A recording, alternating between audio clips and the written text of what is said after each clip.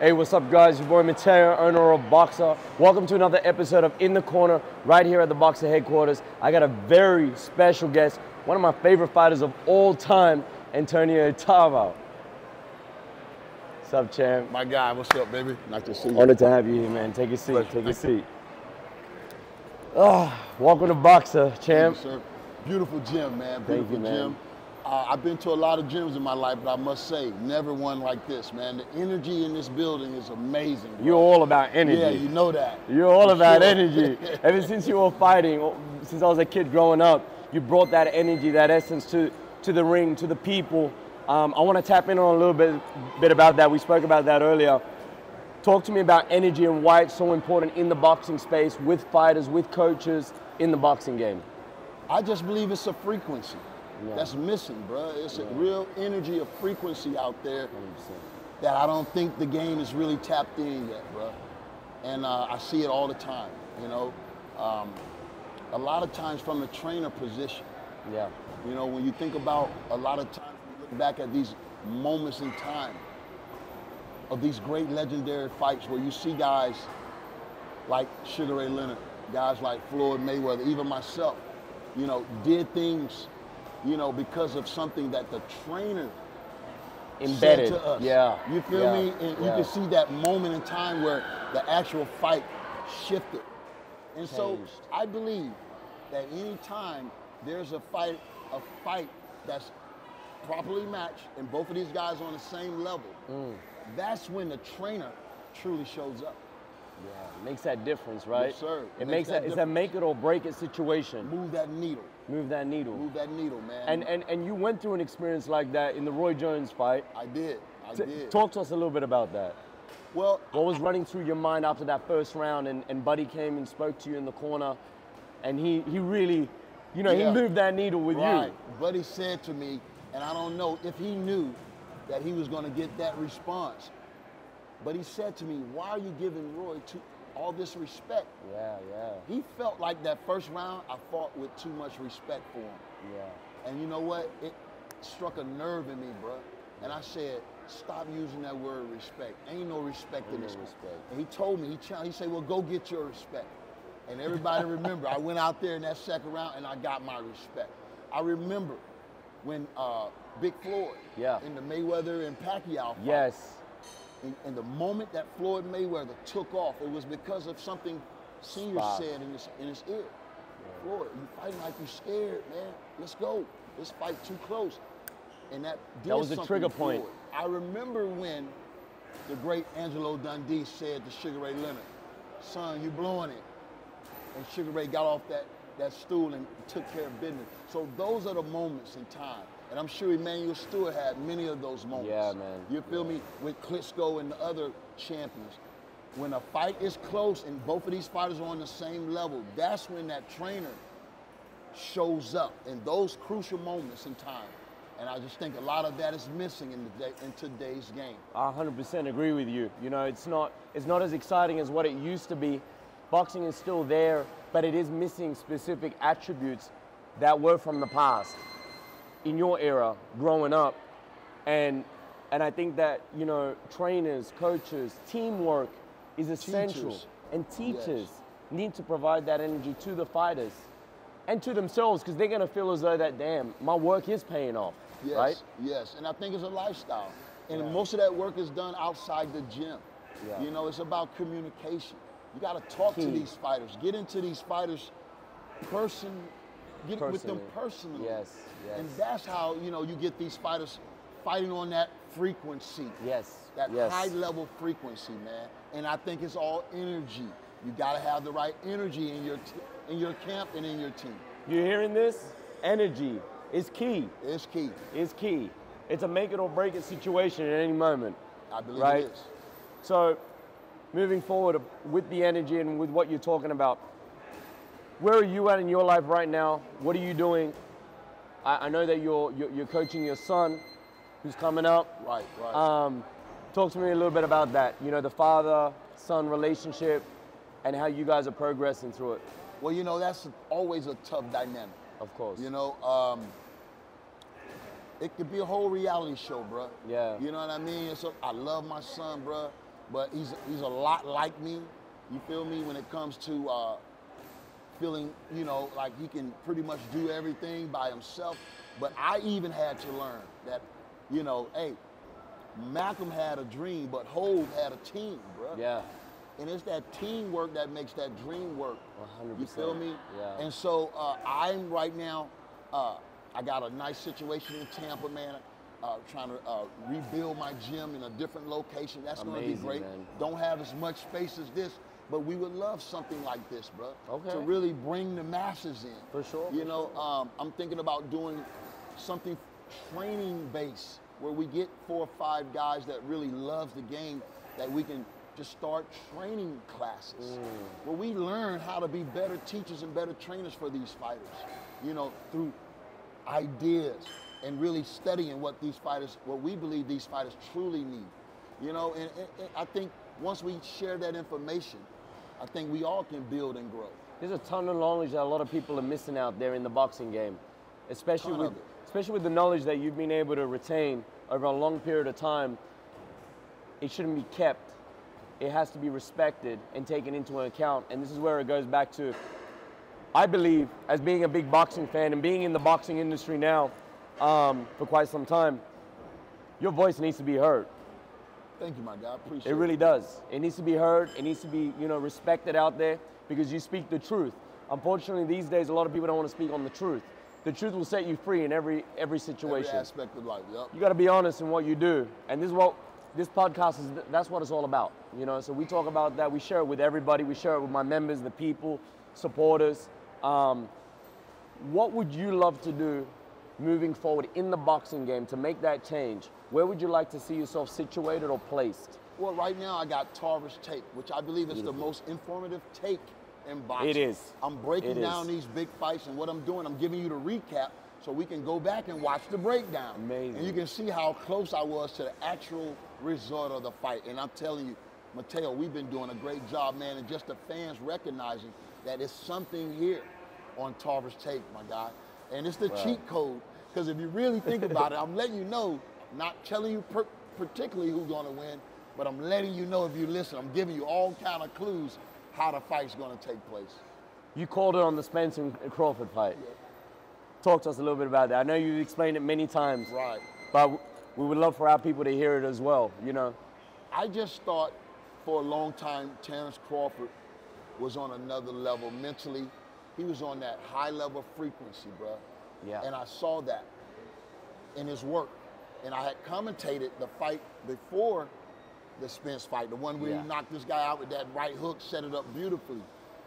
And then as I watched Spence, I had to be honest. I, I, I didn't see a lot of things that was going on, you know, of course. Processing. I, I couldn't really see it. Even when he was hitting the bags, Mm. leading up to the promotion of the fights, it just didn't look as if he was there 100% that, yeah. locked in Yeah. for the job at hand. And so I was like, whoa. And my three best friends, man, they was all big Spence fans. And if I didn't stand on what I believed in, they would have made me switch my uh, Yeah. uh, opinion about the fight. But I was standing on it and it came out to be true, man. Crawford proved that he had that dog in him like Yes. none other, Yes. like none other. And uh, the way he went about that fight, controlling that fight from the outset, was amazing. And Mm. he showed the class of fighter that he really was. Different caliber. And man, if Yeah. they're gonna find a way to beat Crawford, they're gonna have to do it, man, in a way that uh, I- I don't think. If Crawford stay put at 54 and 47, I think he can have a long reign there. But you- I personally don't. I don't know if he can move up as much as 60, 68 and beat Canelo. I'm not quite sure. But if anybody can do it, it's a guy with Crawford's ability. How if do you, I say that. How do you see that fight playing out with Canelo and Crawford if it was to happen? the way Canelo dismantled a bigger Jermell Charlo, you know, it, it'd be hard pressed to go against Canelo at 168 against anybody, especially a guy coming up from 47. Would you like to see a fight like that? It's interesting. It's really, it's That's really good enough. interesting. It's a challenge. It's a real challenge for Crawford. Yeah. It's a real challenge for Crawford. He'll have to be a special, special Crawford in order to beat Canelo. I'm not saying that it's out of reach. Yes, If anybody can do it, it's a guy like Crawford. for sure. Would you say somebody like Crawford right now? Let's look at all the fighters today in the world. When we say the face of boxing, how do you presume to see it the face of boxing? And who would you think is the face of boxing as of right now? As far as accomplishments, Yes, a couple- it'll be hard pressed to put anybody there ahead of Terrence Crawford because he's two-time undisputed champion in two different weight classes. But when you look at the culture, who has the culture wrapped around his little pinky finger? That has to be Gervonta Davis. Yeah. You know, the one that the people come out to see. 100%. Everyone can truly identify with Gervonta Davis if you came from the inner city. Tank just You brings that sense of energy to the ring. Yeah, yeah. People are just excited to see a knockout. They want to see his skill level, where he's at, how he's performing. I want to talk to you about Tank as well right now. Where do you see Tank next year, next fights? What do you predict? I think he's gonna he's gonna be around for a long time. Okay. He's gonna be around for a long time. Uh, I still got him over everybody in his in his division right now. If, if any fight was to take place right now, you gotta favor Gervonta Davis. 100%. But if I any agree. young man out there, because of their style, and you gotta understand styles when you talk about boxing. Yeah. Shakur Stevenson really understands the dynamics of boxing. He knows reach. Yes. He knows he knows distance. He knows counterpunching, and he knows defense. So those are the intangibles that'll give a guy that's so naturally gifted and talent, talented like Gervonta Davis fits. Yes. But I don't know if he'll win it. It's a very calculated it's a fight. Calculating fight. It's going to be a chess match yes. of epic proportion until that boom comes. And that's why we always tune in to see Gervonta Davis because we know it's just around the corner. It's just around the corner. He already he pulls something out in a round that we don't even expect. It's amazing. It's amazing. Um, some other fights that are coming up. We got Francis. Francis we got Fury. and the Gypsy King.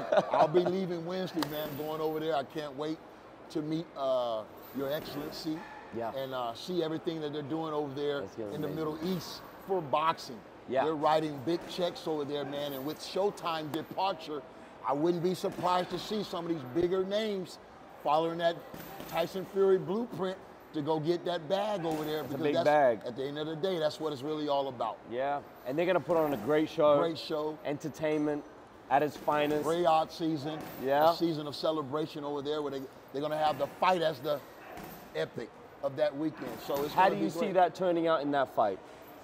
You know, Tyson Fury has 200 million reasons to take this fight deadly serious. Yeah. Now, before he signed that contract with Usyk, I don't know how serious he was taking this fight, but I think he's had 30, uh, 40 days to really lock in. I think he's going to really focus this last couple weeks before the fight, and uh, I see Tyson Fury being the Gypsy King and controlling everything that goes on inside of that ring. But Francis Ngannou will be in there to try to upset and shock the world. And as far as being a physical specimen and being strong enough and powerful enough, I would advise Tyson Fury not to take any chances. Don't gamble with a guy this strong because it only takes one punch when you're punching that hard. For I like sure. that. I like that take. For sure. That's a good one. Um, we talk about the heavyweight division.